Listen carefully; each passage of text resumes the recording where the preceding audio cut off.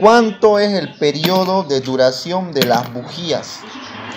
Esto depende mucho, ¿no? Si son bujías del material cobre, acá se nota en la punta bujías platinadas como esta, platino o las de iridio.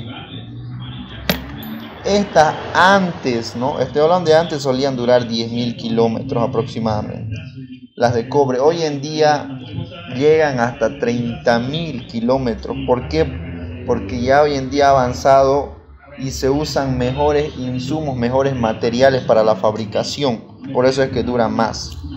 Tenemos la de platino que duran hasta tres veces 60.000 kilómetros. Y luego están las de iridium que igual que la de la platino 60.000 hasta 70.000 kilómetros.